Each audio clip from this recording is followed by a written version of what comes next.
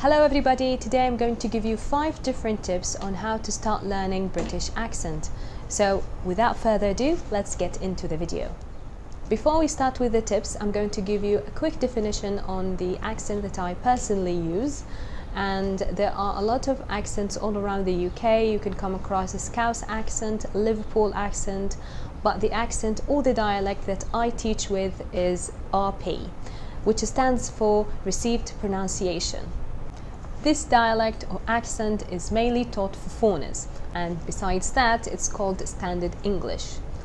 It is associated with high education and noble class.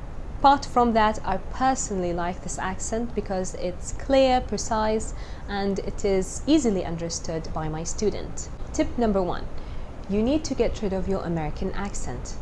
I know most of you learn English through American films and American TV shows, since the American culture has taken over the entertainment industry.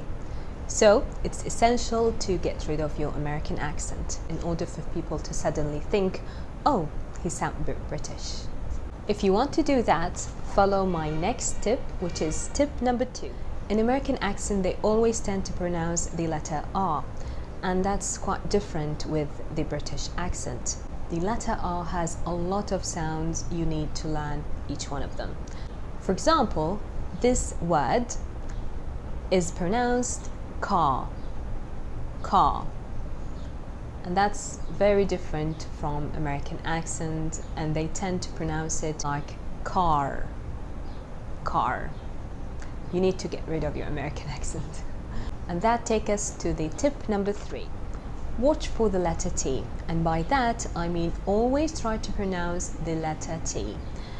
And that's quite opposite with the American accent. They don't pronounce the T. They tend to pronounce T like a D, like the word better, better, like this. But in a British accent, they pronounce it better, better, or better. And that takes us to the glottal T. Glottal T is a sound where you suddenly stop in the middle of the word or at the end of the word. Let's take an example to illustrate it.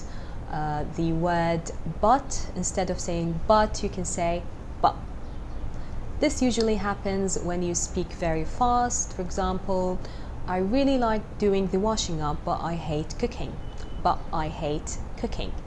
Personally, I believe a glottal T is a very high uh, level of British accent. We can say it's like an advanced level of British accent.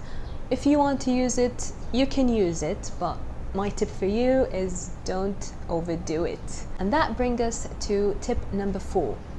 Did you know that 70% of English pronunciation has the schwa sound? So it's a very important sound to learn if you want to sound like a British person. My last tip for you is to start recording yourself. See if you uh, sound a bit British, if you start to sound like a British person speaking, listen to your records, uh, make sure that you keep on track of your progress, compare yourself to your favorite role model, and by that I mean a person who you really like their accent this is uh, regarding any accent of that matter, but you need to imitate them, you need to sound like them. Maybe uh, you can uh, listen to your records and decide do you sound like that person or not.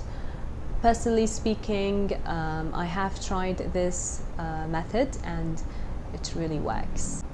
That's about it for today. If you like this video, please hit the like button and subscribe to my channel so you can get videos like this and tell me in the comment box which accent do you use and which one do you want to learn. See you in my next video. Goodbye.